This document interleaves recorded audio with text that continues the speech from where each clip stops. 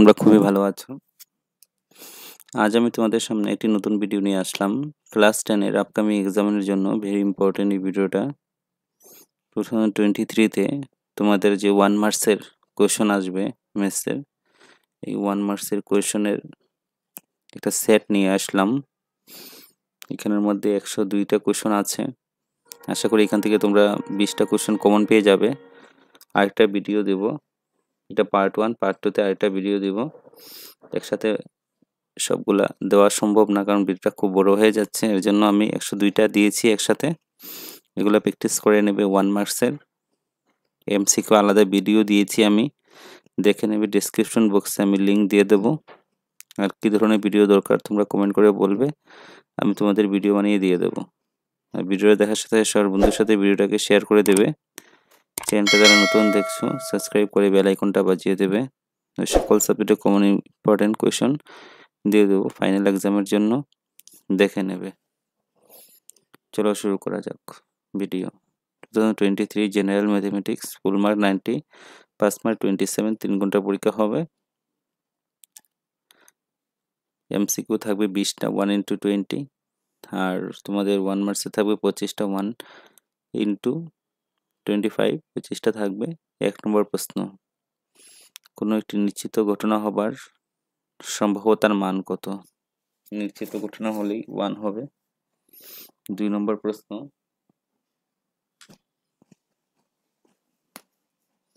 একটি অসম্ভব ঘটনার সম্ভাবতা কত? একটি অসম্ভব ঘটনার সম্ভাবতা কত হবে? শূন্য হবে। একটি সাধারণ ঘটনা ঘটনা ই এর মান পি অফ ই কত? Zero P of P greater than equal to E zero greater than equal to P E P of E greater than equal to one ফর্মুলাটা মুখস্থ করবে। নিচের কোনটি একটি ঘটনা সম্ভাবিত হতে পারে না মাইনাস ওয়ান পয়েন্ট ফাইভটা হবে না। ঘটনা ই ঘটনা সম্ভাবিতা প্লাস ঘটনা ই না ঘটার সম্ভাবিতা কত? আনসার হবে ওয়ান কোনো ঘটনা সম্ভব নয়, এমন ঘটার সম্ভাবতা কত? এমন ঘটনাকে কি বলে? কোনো ঘটনা সম্ভব নয়। এমন ঘটনার সম্ভাবতা কত? না ঘটার সম্ভাবতা এমন ঘটনাকে অসম্ভব ঘটনা বলে। একই ঘটনা ঘটে, ঘটবেই। এমন ঘটনার সম্ভাবতা কত বা ঘটনাকে কি বলে? ওয়ান, এমন ঘটনা নিশ্চিত ঘটনা বলে। P of is zero point zero five E না হওয়ার ঘটনার সম্ভাবতা কত? আনসার হবে জিরো পয়েন্ট নাইন ফাইভ তারপর দেখো, কোনো একটি শ্রেণি বিভাগে সঞ্চয়ী বারংবারতা কি? কোনো একটি শ্রেণি বিভাগে সঞ্চয়ী বারংবারতা হলো আগের শ্রেণীগুলির বারংবারতাগুলির যোগফল। বর্গাকৃত তথ্যরাশির মধ্যক কয় ভাগে ভাগ করা যায়? তিন ভাগে ভাগ করা যায়। প্রত্যক্ষ পদ্ধতি, অনুমানিক বা মধ্যক নির্ণয় পদ্ধতি, আর ধাপমান বিচ্যুতি পদ্ধতির দ্বারা। মধ্যক মাধ্যমা মোড এই তিনটি কেন্দ্রীয় প্রবৃত্তের মানের পরীক্ষালব্ধ সমুদ্রটি কি? থ্রি মধ্যমা equal to mode plus two three মধ্যক equal to mode plus two মধ্যক। মোড কাকে বলে? যে পর্যবেক্ষণের মানগুলির মধ্যে যেটি সবচেয়ে বেশি বার পাওয়া যায় সেটিকে মোড বলে।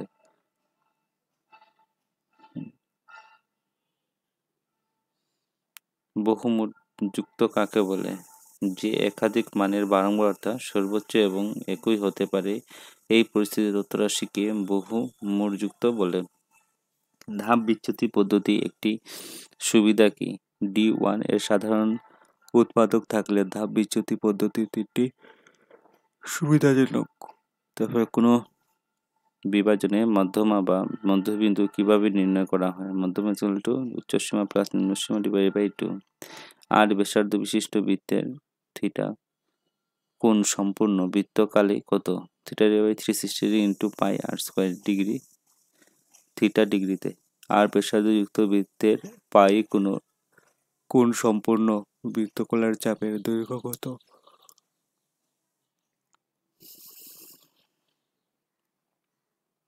Theta divide by three sixty degree into two pi একটি বৃত্তের পরিধি কত? টু পাই একটি বৃত্তের কালি কত? পাই আর অধিবৃত্তকলার কালি কত? Three sixty degree minus theta by by three sixty degree into pi R square যদি একটি বৃত্তের কালি এবং পরিধির সাংখ্যিক মান সমান হয়, তবে বৃত্তটির ব্যাসার্ধ কত? দুই একক। বৃত্তকলা কাকে বলে? যে কোনো বৃত্তের দুইটি ব্যাসার্ধ এক এবং তাদের অনুরূপ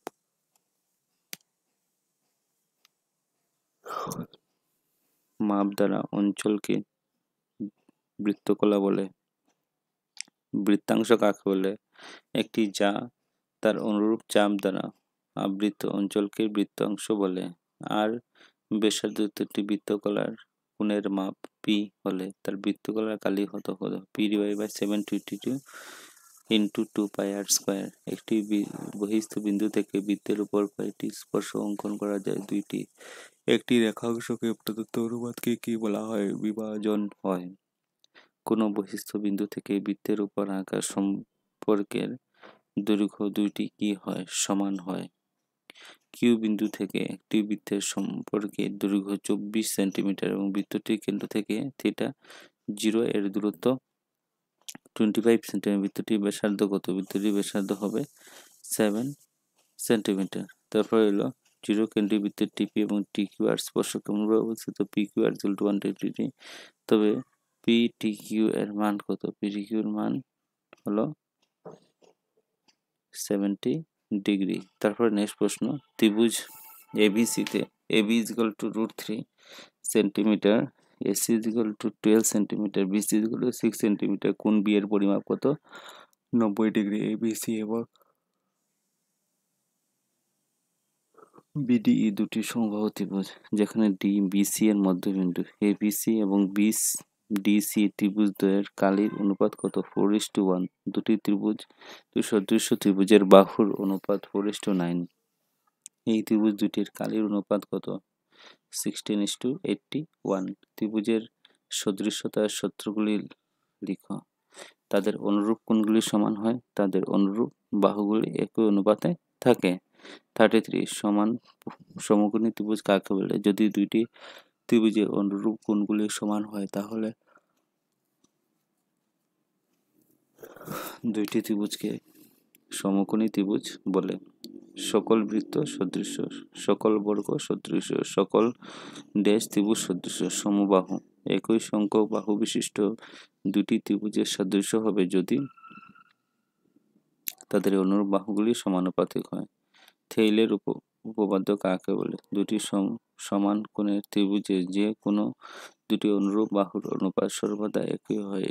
এই বিশ্বাস করা যায় যে তিনি একটি সিদ্ধান্ত ব্যবহার করেছিলেন, যাকে মৌলিক সমানুপাতিক উপপাদ্য বলা হয়। বর্তমানে এটিকে থেলস উপপাদ্য বলে।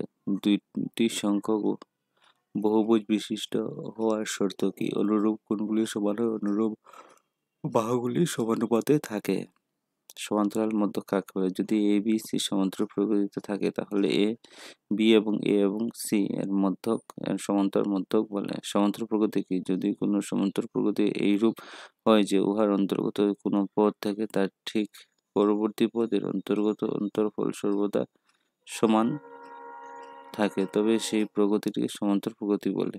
সমান্তর প্রগতির সাধারণ অন্তর, ডি সমান্তর প্রকৃতি সাধারণটি কাকে বলে? সমান্তর প্রকৃতি সাধারণ অন্তর সাধারণত অন্তরকে সাধারণ অন্তর বলে। তার ফলে জিরো সেভেন ক ফোর সমান্তর প্রকৃতি ত্রিশতম পদ কত হবে minus seventy seven minus three one by two two সমান্তর প্রকৃতি এগারোতম পদ কত হবে বাইশ সরলতম সূত্রটি কি? P R T by hundred দিঘার সমীকরণের মূল দোষ কীভাবে নির্ণয় করা হয়? দিঘার সমীকরণ পূর্ণবর্গ তার মূল পদ নির্ণয় করা হয়। দিঘার সমীকরণের সূত্রটি কি? X plus X plus B X plus C মূলদয়ের সূত্রগুলি মূলদয় বাস্তব সমান হবে। আর মূল মূলদয় বাস্তব এবং সমান হবে। B square minus four S equal to zero মূলদয় বাস্তব সমান যদি A B square minus four AC greater than zero. বীজগণিতের পদ্ধতিগুলি কি কি? প্রতিস্থাপন পদ্ধতি, অপনয়ন পদ্ধতি বজ্রগুণন পদ্ধতি। তারপরে কখন জোড়া রৈখিক সমীকরণগুলি সঙ্গত হবে? A one divide by A two, B one divide by B two. Not equal to হবে। তারপরে দেখো, জোড়া রৈখিক সমীকরণগুলি অসঙ্গত হইবে। A one divide by two equal to B one by B two not equal to C one divide by C two কখন রৈখিক সমীকরণগুলি নির্ভরশীল এবং সঙ্গত হবে? A one divide by A two equal to B one divide B two equal to C one divide by C two হবে। তারপরে next প্রশ্ন, ইউক্লিড বিভাজন প্রতিক্রিয়া দিকে লিখো। প্রদত্ত ধনাত্মক সংখ্যা এ এবং বি এর জন্য পাওয়া যায়। অদ্বিতীয় অখণ্ড সংখ্যা পাওয়া যায়। A equal to b q plus r 0 greater than equal to r greater than b Euclid বিভাজন পদ্ধতি লিখো যে কোনো দুটি ধনাত্মক খণ্ড সংখ্যা a এবং b এর গোসাগু নিম্নরূপে পাওয়া যায় ধাপ এম কিউ এবং আর নির্ণয় বিভাজন প্রতিক্রিয়া প্রয়োগ করে যেখানে is equal to b q plus r 0 greater than equal to r greater than b ধাপ যদি আর ইকুয়াল টু জিরো হয় তাহলে গোসাগু হচ্ছে বি যদি N R equal to not equal to zero হয় তাহলে বি এবং আর এর ক্ষেত্রে ইকুলিড বিভাগ ইকুলিড প্রতিক্রিয়া প্রয়োগ করি। ধাপ থ্রি গোসা ভাগশেষ শূন্য না হওয়া পর্যন্ত এই প্রক্রিয়াটি চলিয়ে যাওয়া যায়। এই অবস্থাতে ভাজক হবে গোসাগু আর এ এবং বি গসাগু equal to B comma R একটি বৃত্তের কালি এবং পরিধির সংখ্যা সাংখ্যিক মান সমান হয়, তবে বৃত্তটির ব্যাসার্ধ কত হবে? বৃত্তের পরিসীমা ইকুয়াল টু বৃত্তের কালি টু পাই পাই আর স্কোয়ার পাই আর হবে পাইটা নিয়ে চলে যাবে পাই পাই ক্যান্সেল আর স্কোয়ার হবে আরটা দুইটার মধ্যে একটা আর চলে গেলে R R cancel R equal to কত হবে? টু সিক্স সেন্টিমিটার ব্যাসার্ধ ব্যাসার্ধ বৃত্তে ষাট ডিগ্রি কোণ উৎপন্নকারী বৃত্তের কালি নির্ণয় করে। বৃত্তের কালি হবে eighteen point eight six centimetre square বৃত্তের কালি pi R square divide by three sixty three pi এর মান three twenty two by seven R এর মান সিক্স স্কোয়ার আর থিটার মান হলো ষাট ডিগ্রি ছয় ইন্টু ছয় ছয় দিয়ে ছয় ছয় ছয় দিয়ে কাটাকুটি গেলে কত হবে? Eighteen point eight six R ব্যাসার্ধ একটি বৃত্তের কলার কোণের পরিমাণ পি ডিগ্রি হলে তার বৃত্ত কলার কালি কত হবে? থিটা ইজ টু পি ব্যাসার্ধ মানে R pi R R square theta divide by three sixty degree কত হবে? P by two one two seven twenty degree into two pi R square বৃত্তের কেন্দ্রে থাকা কোণের ডিগ্রি মাপ থিটা বৃত্তটির বৃত্তটির একটির মাপের দৈর্ঘ্য কত? যেখানে আর এর বৃত্তটির ব্যাসার্ধ কত? Theta theta pi R divide by three sixty বৃত্তের কেন্দ্রে কোন কোনটির ডিগ্রির মাপ? ওয়ান, বৃত্তটির কালি কত? সেখানে আর বৃত্তের ব্যাসার্ধ হবে pi R square divide by three sixty দশটি ক্রিকেট খেলায় একজন বোলারে দখল করা উইকেটের সংখ্যা নিম্ন বহুলক কত হবে? তিন হবে। একজন বোলারে আটটি ক্রিকেট খেলা দখল করা উইকেটের সংখ্যা এত বহুলক কত হবে? দুই হবে। একশো পঞ্চাশ জন খেলোয়াড়, একশো দশ মিটার দৌড়ে দৌড়াতে দৌড়ে দৌড়াতে নেওয়ার সময় সেকেন্ড হিসাবে নিম্নরূপ দেওয়া হলো।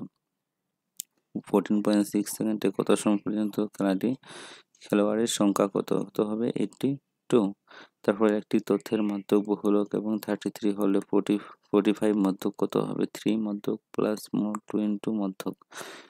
মধ্যক মধ্যমের জায়গায় থ্রি থার্টি থ্রি হবে। তিন তাদের ninety nine ninety nine two forty five two দিয়ে minus one ninety nine two forty five fifty four two মধ্যক ইজুয়াল টু ফিফটি মধ্যক ইজুয়াল টু দিয়ে ফিফটি ফোরটা ভাগ করলে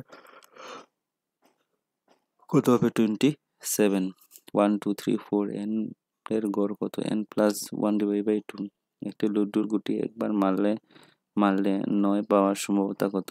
নয় পাওয়ার ছয় পাওয়ার সম্ভবতা কত? মোট সংখ্যা ছয়টি, নয় পাওয়ার সম্ভবতা মানে একবার নয় হবে নাইন বাই জিরো কত হবে? জিরো তারপরে নিচে কোনটি বর্গ? পূর্ণবর্গ পূর্ণবর্গ নয়। ফাইভ সেভেন টু টু দু by three whole by four এর মান কত? সিক্সটিন বাই এইটটি ওয়ান তারপরে দেখো sixty six number cube root of three three one three three R cube root of one thousand সবগুলো এখানে প্রশ্ন দেওয়া আছে, এখানে সবগুলোর আনসার দেওয়া আছে। কিউব রুট মানে ইলেভেন রুটে ইলেভেন দিয়ে ইলেভেনের কিউব কিউব কিউব ক্যান্সেল টেনের কিউব কিউব ক্যান্সেল দশ আর এগারো প্লাস করে টোয়েন্টি ওয়ান প্রামাণিক রূপে লেখার জন্য বলেছে, যে প্রামাণিক রূপে লেখো।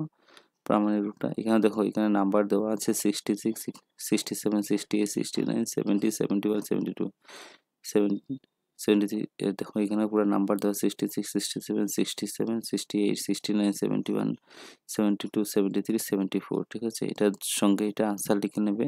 তারপরে দেখো সেভেন্টি ফাইভ দেওয়া আছে সেভেন্টি ফাইভ থেকে কত দেওয়া আছে? এইটটি নাইন এখানে সেভেন্টি ফাইভ থেকে এইটটি নাইন পর্যন্ত পুরোপুরি আনসার দেওয়া আছে। পজ করে তোমরা আনসারগুলো লিখে নেবে। কোনো প্রবলেম থাকলে কমেন্ট করে বলবে, আমি তোমাদের ভিডিও বানিয়ে নতুন ভিডিও বানিয়ে দিয়ে দেবো। ঠিক আছে? তারপরে দেখো eighty three eighty four eighty five sixty eighty seven eighty eight eighty nine যাবে বা তারপরে দেখো তোমাদের ninety one ninety two ninety three ninety four ninety five ninety seven ninety seven ninety eight ninety nine hundred hundred one hundred two hundred two পর্যন্ত দেওয়া আছে। দেখো ninety ওয়ানের আছে ninety two ninety three ninety four ninety five ninety seven এদের উপরে ninety seven ninety eight ninety nine hundred hundred one hundred two hundred two পর্যন্ত আমি দিয়েছি। আরেকটা ভিডিওর মাধ্যমে তোমাদের বাকি যেগুলো থেকে যাবে, এগুলা সবগুলা দিয়ে দেবো। তোমরা পজ করে এগুলা সবগুলা লিখে নেবে। আশা করি এখান থেকে কিছু প্রশ্ন তোমরা কমন পেয়ে যাবে ফাইনাল পরীক্ষাতে।